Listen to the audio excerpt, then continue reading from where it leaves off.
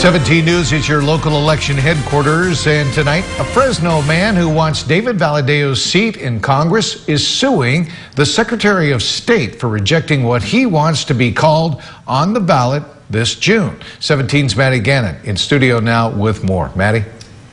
Jim, Chris Mathys is running for the 22nd Congressional District, which includes a large portion of Kern County.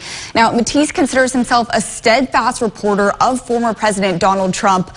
We spoke with him recently, and he talked about how that is a huge part of him as a candidate. So much so that he wanted his ballot designation in the primary election to specifically say he is a Trump conservative slash businessman.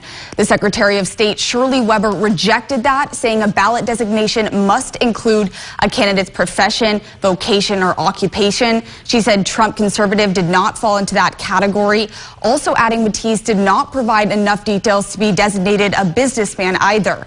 In a statement, Mathys said he is suing because he has the right to self-identify and choose a ballot designation that aligns with his principles without discrimination. Now, the race for Kern's 22nd congressional district is a fairly packed field. It's considered one of the most competitive races in the country. Overall, the district leans blue, but in the past, Republicans have seen high turnout and won despite the Democrats' registration advantage. Joining Valadao and Mathys in this race is Republican Adam Medeiros and Democrat Rudy Salas, as well as William Cahill, Adam Holt, and Elvin Valenzuela.